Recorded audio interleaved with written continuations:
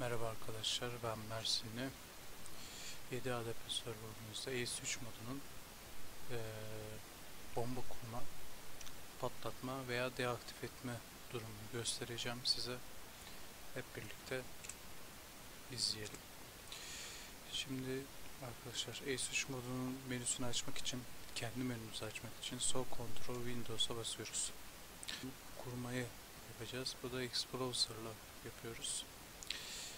Please ve mayını kurmak istiyorum buraya.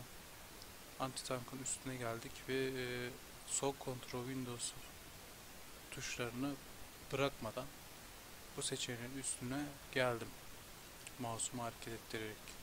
Seçmek için ise bu sol kontrol Windows'u bıraktığımız vakit seçeneğimiz önüme düşer. Burada da istediğimiz yöne götürme şansımız var.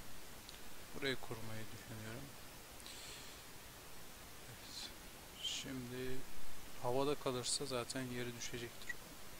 Hatta deneyelim. Clean'e bastığımız vakit gördüğünüz gibi bombamızı şu an yere kurduk. Ama şu an aktif mi? Hayır. Aktif etmek içinse nasıl patlayacağını göstermemiz gerekiyor. Bu page up mayınımızı tekrar çantaya alır.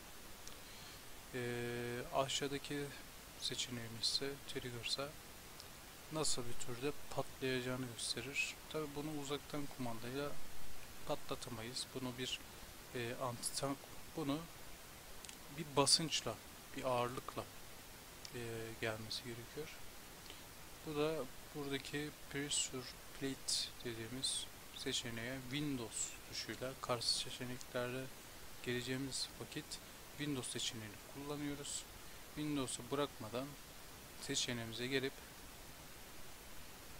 aktif hale getiriyoruz. Şu an bombamız kurulu. Yani herhangi bir ağırlıkta yani tank, araçlar veya e, o türden böyle tonluk araçlar üzerine geçtiği vakit e, mayınımız patlayacaktır.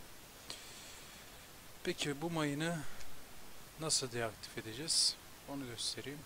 Mayınımızın yanına geliyoruz. Bu daha önce de belirttiğim gibi e, tonluk bir araç veya tonluk bir malzeme üstünden olması gerek ki e, patlayabilsin. O yüzden bizde o kadar bir ağırlığımız olmadığı için üstünden gezdirebiliriz. Şimdi bunu deaktif etmek istiyorum. Tabii ki seçenekli çant diffuse kitimizi çantamıza aldık. Ve tekrardan çıktık. Şu an çantamızın içinde diffuse kitimiz var. Diffuse kitle bu mayını etkinsiz hale getireceğim. Evet, seçenek gördüğünüz gibi hemen çıktı. Windows yani karşı tuşla o mayına yapabileceğimiz diffuse üzerinde Windows'u bıraktığımız vakit mayını etkisiz hale getirecektir. Şu an gördüğünüz gibi mayın etkisiz hale çantamıza alabiliriz. Peki birden çok mayını eee hangi mayını hangi yerde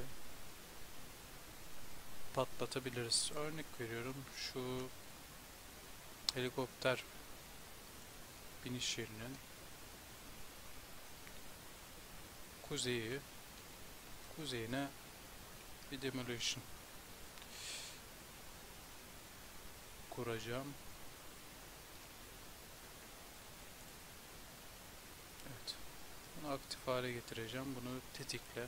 Gördüğünüz gibi M57 Lincoln veya zamanlayıcıyla patlatabilirsiniz. Şimdilik bir statikle patlatalım. Zamanlayıcıyı da birazdan görürüz. Gördüğünüz gibi sağ tarafı seçenekle Explorer kod 1 verdi. Yani bunun kodu 1 oldu. Bunu unutmayacağız. Evet. Şu anki yönse güneyi, kuzeyine o tarafa, güneyine de diğer e, C4 türü patlayıcımızı kuralım. Evet. Bu da isterseniz zamanlayıcıyla kuralım. Onu da zamanlayıcıyla kuralım. 30 saniye kuralım. Set time dedim. Evet, bir 30'dan geri sayalım.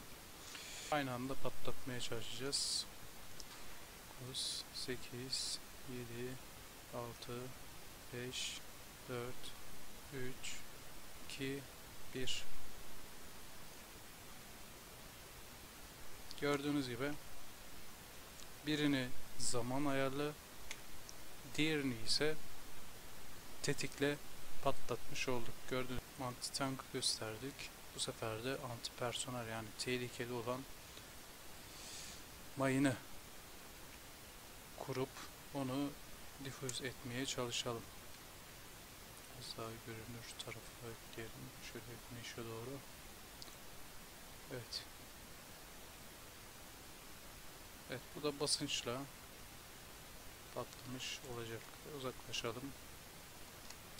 Geriye attık ve yavaş yavaş ilerleyeceğiz.